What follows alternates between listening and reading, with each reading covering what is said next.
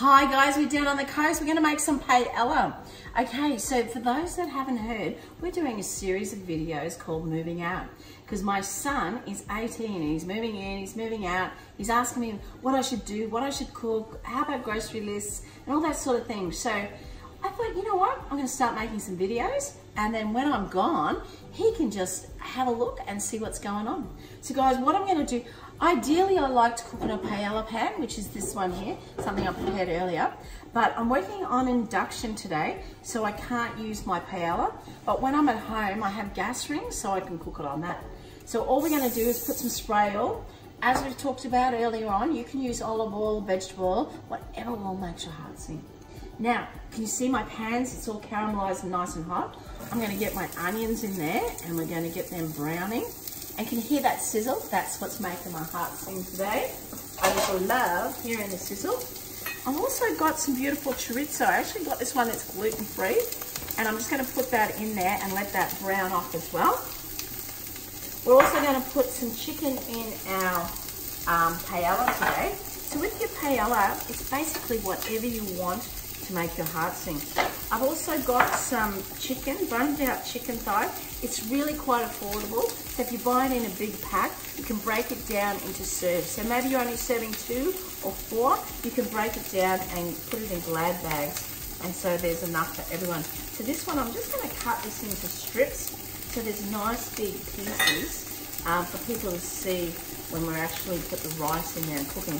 When you're doing the paella at home, over the barbecue, you can actually uh, have all the prep done and make it a, a, little event when you're having a big party at home with all your friends over and everyone can put in their two cents. Now I'm just going to pop that chicken around the place and that can caramelise and I'm not going to stir it too much just so it can do its own thing because I like to brown things so you get a lovely crispy flavour on that.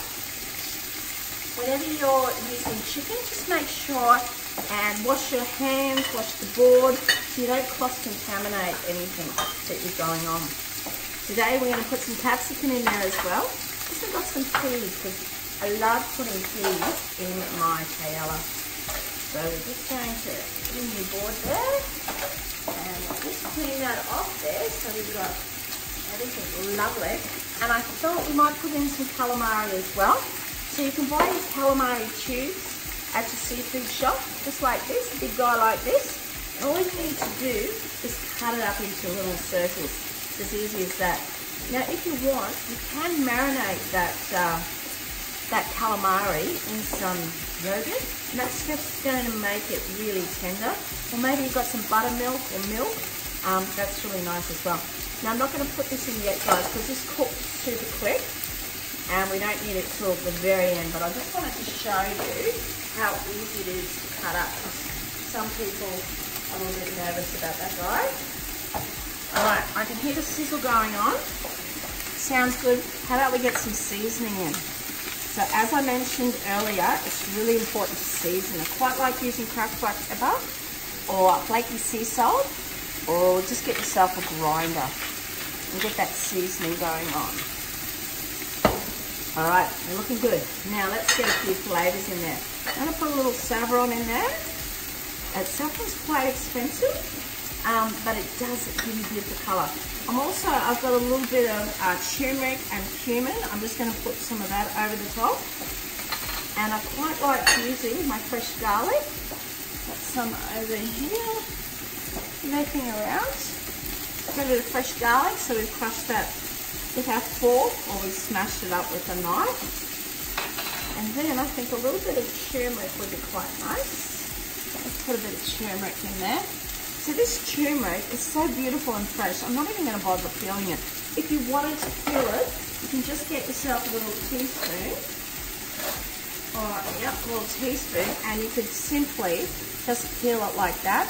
But today, guys, I'm not even going to bother peeling it because it is so super fresh and lovely. I'm just going to zest that straight on top there. And that's going to help give a lovely colour to that.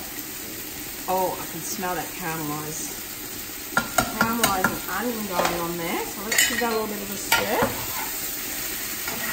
Oh, yum. Looking good, guys. give that a little shimmy around the pan there. Smelling good. I love cooking with um, turmeric. And so we've got the fresh ginger, uh, sorry, we've got the fresh garlic in there, turmeric. A big hunk of turmeric. Never have enough turmeric or ginger for that matter. Might even put, me see, I've got a little bit of ginger lurking around here. Something I've got down here. And we'll just put a bit more ginger in that because I like all these lovely fresh flavours.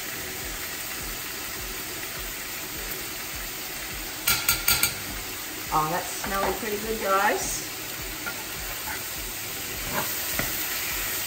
So I'm just going to let that brown off and then we're going to add in some rice. So we'll see you in a minute, guys. Stay tuned for some lovely paella.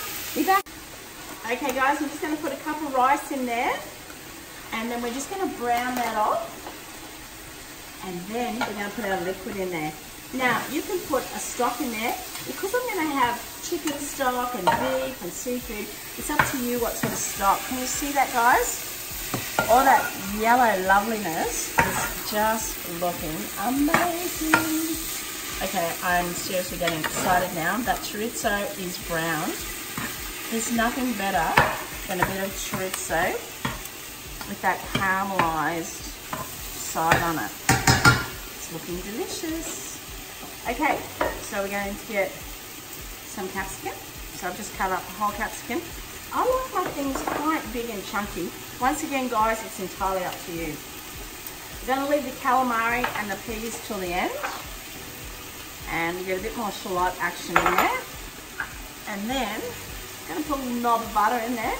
And then we're going to get a liquid. So we put one cup of rice in there because we're making quite uh, intensive protein today. So I'm not going to put extra rice in there. So remember, one cup of rice to two cups of liquid. So I've got some chicken stock here. So I'm going to hit it with this. And then we are going to reduce that. Go out the back deck, have a glass of wine, and then come back and ooh la la, it will be magnificent.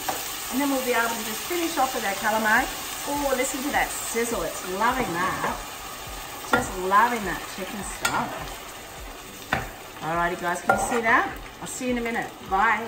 Hi guys, look at this. It's all that liquid has absorbed. Now cut up that calamari there. We're just going to pop that in.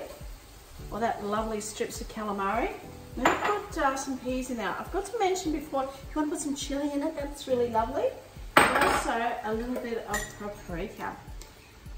That's just going to tart that flavour up a little bit for me. And if you wanted to, you could get a little can of diced tomatoes as well. Or sometimes I even put prawns in it, which is really nice. So it's totally up to you how extravagant or how decadent you want your paella to be. But once again, I do really love cooking it uh, in my paella pan. Um, so you can get them really easily at the kitchen shops as well. So how, look at the color on this, guys. It's so vibrant and lovely. If you wanted to, you could brown that calamari off um, to get it a little bit crisper. Once again, this is entirely up to you. Look at the colors on that, it's really popping. So I'm just gonna serve this up for you can, so you can see what's going on there. There's big pieces of chicken. And what's really nice as well is to get some lovely mussels and put on the top of that. That would be really lovely. If you wanted to do some more parmesan on the top, or sometimes I do giant shallot curls just to make it pop. Guys, it's nice and simple and that's good to go. Hope you enjoy. See you soon. Bye-bye.